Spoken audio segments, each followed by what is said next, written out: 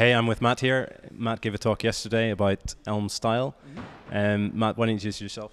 Uh, yeah, I guess I don't. Uh, so I'm Matt, and um, yeah, I work for Cornell Tech in New York City. Uh, we do all kinds of like crazy computer science uh, research and uh, try to launch companies and everything. Um, yeah. And you wrote a book recently, is that right? Uh, I did actually. Um, so there's a little uh, short, like 40 page free O'Reilly book called Why Elm. Um, you can search for it, uh, and uh, it'll just kind of like uh, explain, like technically and even practically, like why Elm is interesting and like why you should probably check it out. Okay, and if um, if you wanted to sum up the book in, in, in a couple of sentences here for the viewers, what would you say? Oh man, I would say like the main point with Elm is like if you want to be able to like write an application, leave it for a month, come back, and one day just add a feature and then go on vacation the next day. Like Elm, you can do that. You're not going to get a mysterious breakage out of nowhere. Um, and the book kind of goes into like technically why that is. Um, but uh, that's the main thing. You know, this, uh, this ability to refactor or add features um, and not have everything go south for you.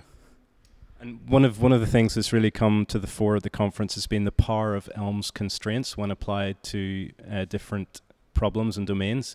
You've done something really interesting with Elm style. Do you want to talk a little bit about that? Um, yeah, yeah. So the style elements library, uh, what I really wanted is like, why is layout, um, why is layout separate from like essentially our HTML? Um, and I mean, that was kind of like a really good question. So I started like pursuing it because, like in CSS, uh, the main thing, the most, uh, the biggest pain problem is when your layout breaks because it'll just happen kind of out of nowhere, and um, and it's really frustrating. And like most developers, they're like, yeah, this I've had this happen to me a million times. So um, what I could do is like, well, we all have these like little tricks. Um, that we have to like make things work. So I'm like, well, what if we could take all these like best tricks to make a very consistent layout engine um, that compiles to CSS and HTML, uh, and like essentially give kind of like the same guarantee. We have this guarantee in Elm of like if it compiles, there's no error. What if you could have a guarantee of like, oh man, if it compiles, like the style is going to be what I expect it to be.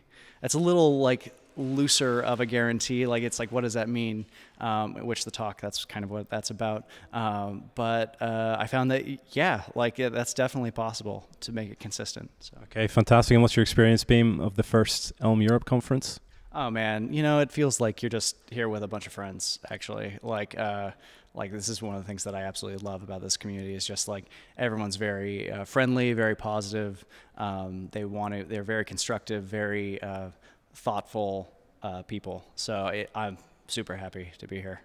Okay, thank you very much, Matt. Awesome, thank you.